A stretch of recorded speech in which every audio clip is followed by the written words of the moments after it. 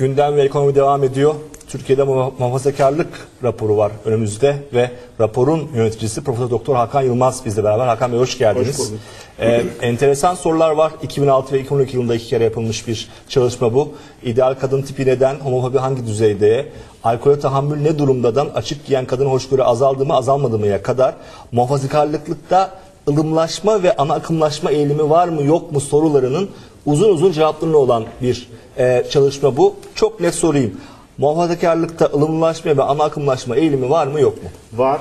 Muhafazakarlık 2006 ile kıyaslandığında uç noktalardan boşalmış, orta noktalara doğru toplanmış. Ee, bu muhafazakarlığın azaldığı anlamına gelmiyor ama grafiğinin değiştiği ve e, tonasyonlarının değiştiği anlamına geliyor. Ortada toplanmış, daha ılımlı fakat lakin daha güçlü bir muhafazakarlıkla karşı karşıya olabiliriz. Yani e, Dolayısıyla daha zayıf bir muhafazakarlıktan söz etmiyoruz ama daha ılımlı, daha özgüvenli, daha ne yaptığını bilen, daha seçimlerinden haberdar bir muhafazakarlık da söz konusu olabilir. Bunları söylemek için henüz erken. Daha ılımlıdan mı daha toleranslı. Daha toleranslı, kesinlikle daha toleranslı. Ee, belki kendine daha güvenli olduğu için daha to- toleranslı karşı tarafa karşı. Ama uç noktalardan boşalmış. Yani kendini hiç muhafazakar bulmayanlarla aşırı muhafazakar bulan e, noktalar boşalmış. Ortada e, 10 puanlık bir artışla e, muhafazakarlık yığılmış. Ama Böyle bir genel trend olarak da gözlemlemişiz. muhafazakarlıkta bir e, azalma e, gözlemlendi. Azla, azalma gözlemlenmiyor, şekil e, değiştiriyor. Bu hem e, siyasi değerlerdeki muhafazakarlık için geçerli, hem, de özel özel, hayat galiba. hayata ilişkin muhafazakarlık için geçerli.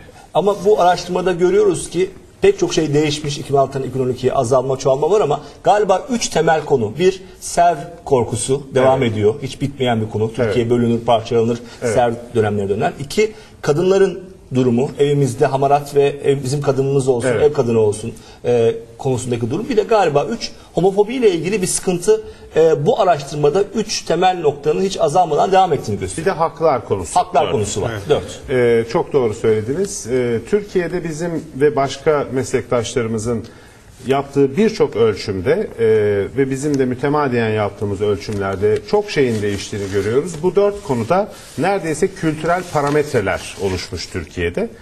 Bunun da nedeni bu dört konunun hem kültürümüzün derinliklerinden gelen konular olmaları hem de ders kitaplarında bize yıllardır öğretilen e, konular olmaları. Öyle düşünüyorum. Bunlardan bir tanesi sizin de işaret ettiğiniz gibi homofobi, Türkiye'de eşcinsel hakları veya heter- heteroseksüel olmayan cinsellik yönelimlerine karşı toleranssızlık var ve burada hiçbir tolerans artışına yıllar içerisinde rastlamıyoruz. 2006-2012 12 verileri çok arasında. Evet. Birçok araştırmada bunu teyit etti bu şekilde. İkincisi e, kadının e, aile içerisindeki konumuna ilişkin tutumlarımızda hiçbir liberalleşme diyelim söz konusu değil.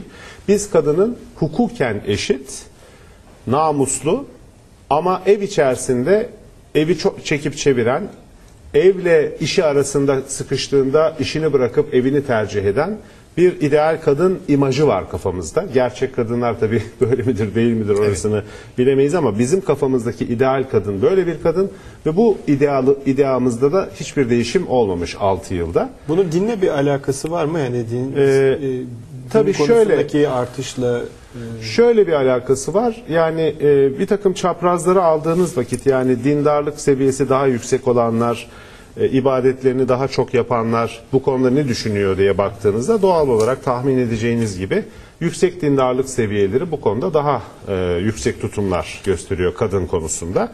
Dindarlık azaldıkça bu azalma eğilimine giriyor ama bir yere kadar. Yani bir yere kadar bu aslında biraz evrensel bir konu Türkiye için. Yani dindarlık seviyesinden görece bağımsız bir konu. Yani sağdan sola sol her yer sağdan da evet, görece yani bağımsız. eğitimle de alakası yok değil mi? Ee, var mı? Bir Yani- miktar var. Bir miktar var ama sınırlarına geliyor çarpıyor. Yani e, bir miktar eğitim yükseldikçe bu azalıyor. Lakin çok da azalmıyor. Yani parametre olduğu için dar bir marjda oynuyor diyelim bu bu konu. Öbürleri Hocam- gibi değil. Zannederim dün akşam sunumu izlerken de altını çizdiniz. Sizi düşündüren verilerden birisi de haklarla ilgili bir e, büyük bir başlık. Örneğin e, işkence Evet. konusunda elde edilen Evet. sonuç o da 2006-2012 arasında e, sizi düşündüren bir Beni azalma çok olmaması düşündürdü. nedir hocam bu konu? Şimdi bu şu, e, bir dizi hak verdik e, cevap verenlerimize. Dedik ki bu haklara e, yönelik olarak size iki seçenek sunulsa dense ki bu haklara asla dokunulmamalı.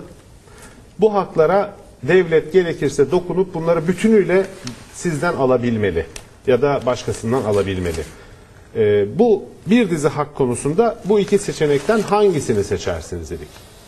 Şimdi iki sonucu söyleyeyim önce. Genel olarak haklara sahip çıkma konusunda 2006'dan 2012'ye ne yazık ki ciddi kayda değer hiçbir ilerleme kaydetmemişiz.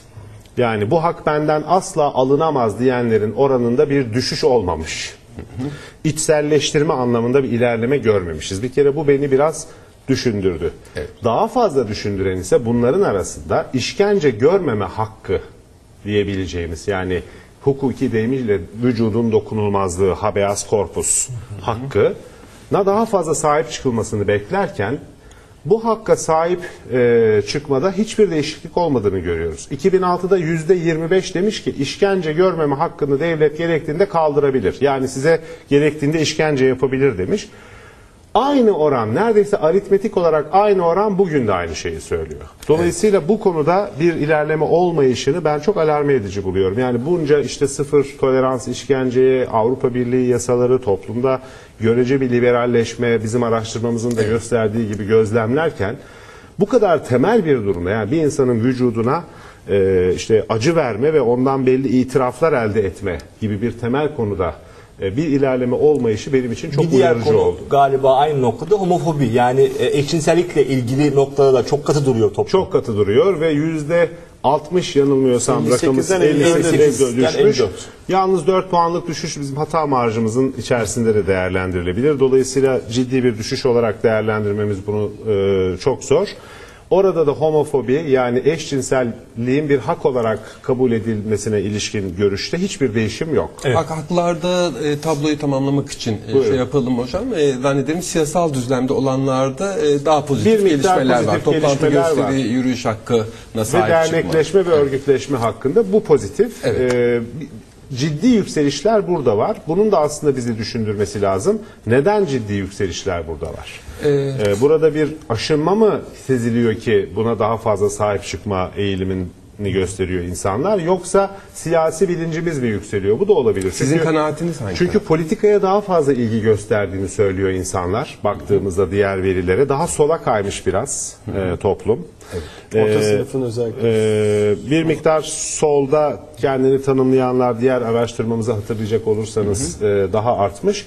Dolayısıyla bu otonom bir gelişme de olabilir. Uyarılmış bir Uyarılmış bir gelişme de olabilir. Onu henüz bilecek durumda Yani şu biber sıkmalar falan, biber gazları Onlar falan. etkilemiş olabilir. etkilemiş kesinlikle olabilir. Hocam bu noktada belki bir daha konuya gelmek lazım. Muhafazakarlık noktasında hani bu iktidarla beraber de işte daha çok insanlar muhafazakarlaştı, namaz daha çok kılıyorlar, oruç daha çok tutuyorlar falan gibi hani böyle genel geçer laflar, Laflar konuşuluyordu. evet. Şimdi sizin araştırma sonuçlarınıza baktığımızda zaman Ramazan'da oruç tutanların oranının düştüğünü görmek mümkün. Evet. Namaz kılıyorum beş vakit diyenlerin oranının düştüğünü görmek mümkün. 2006'dan 2012'ye bir şey Evet, değişmiş bir şey galiba. değişmiş. Dindarlık seviyesi fazla değişmemiş. Yani bizim beyanımıza göre dindar mıyız değil miyiz sorusuna verilen yanıtlar yaklaşık aynı kalmış. Oranlar değişmemiş. Yani az, orta ve çok dindarların oranları 2006'dan 2012'ye yaklaşık aynı kalmış. Buna mukabil dediğiniz gibi ibadetlerde bir kuralsızlaşma, bir gevşeme, bir azalma e, görüyoruz. Mesela günde iki vakit namaz kılarım diyenden arada bir kılarım diyene kadar bu, bu tür insanların sayısının arttığını görüyoruz. E, bu tabii enteresan. Yani demek ki burada şunu görüyoruz. Bizim beyanımıza dayalı dindarlıkla hakikatte yaşanan, pratikte yaşanan arasında bir bir takım uyumsuzluklar, çelişkiler var. Bu da normaldir. Biz işte insanlık böyle bir şey. Ama Bu- siyasal parti tercihi ve muhafazakarlık arasında da anlamlı bir korelasyon e, Orada işaret e, ediyorsunuz. çok güzel bir e, noktaya değindiniz. Orada şöyle bir şey bulduk. Din siz dini hangi kararlarınızda dikkate alırsınız diye bir soru sorduk. Eş seçerken, dost seçerken, parti seçerken. Eş seçerken ve dost seçerken normaldir de zaten hani karşı tarafın dini dini inancının dikkate alınması.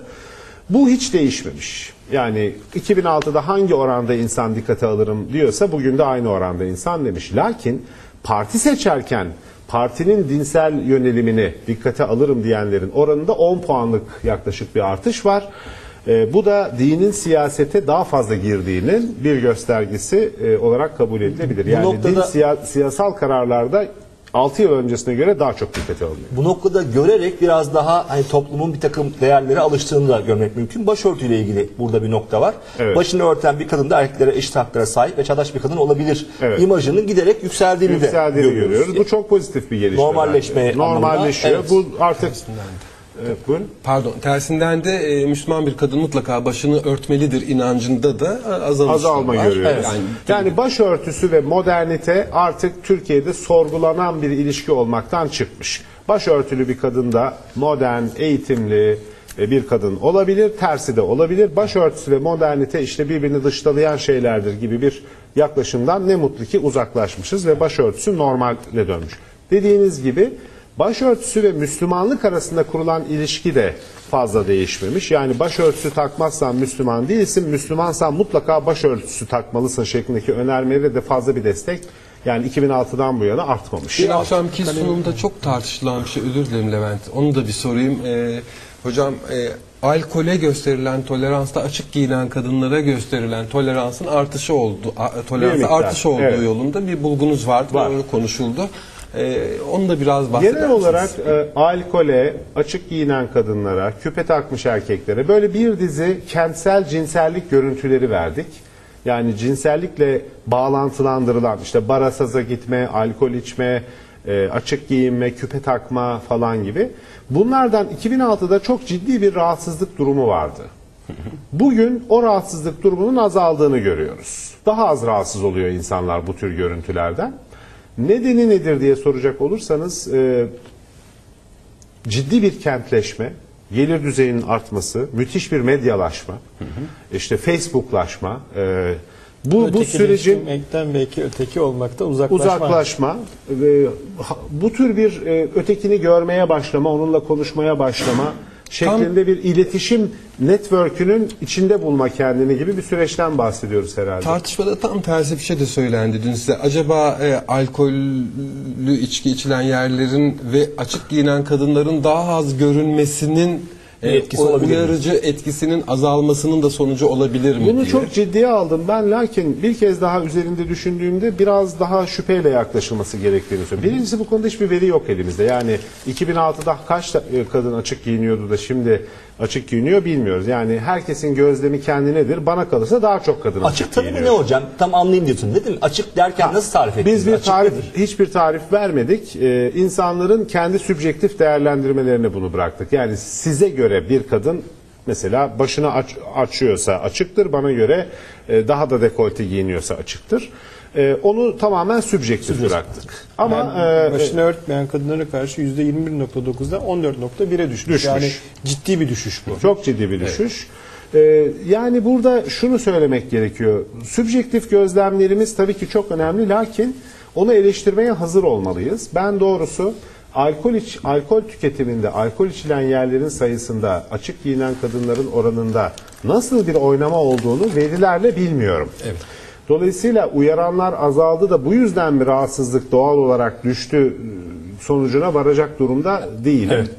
Ben öbür açıklamadan yanayım. Sanki toplum daha bu konularda hani e- iktisatçıların kullandığı o e, kayıtsızlık eğrisi vardır ya. Sanki oraya doğru hareket ediyormuşuz gibi görünüyor bana. Peki bu Ben noktada de iktisatçı olduğum için köken Yani olarak aslında oradan. yani peki Eren sor hemen. Ya benim için çok önemli, çok konuşuldu. Kürtaj konusu. Evet, Ve çok önemli. Kürtajla alakalı da çok önemli bir bulgunuz var. Evet efendim. Neden? Çünkü bunu çok üzerine e, duruldu ve neredeyse bir kamplaşmaya doğru gidecekti. Evet. Başbakan birebir çünkü konuştu bu konuda fikir beyan etti ama toplum doğru. ne düşünüyor?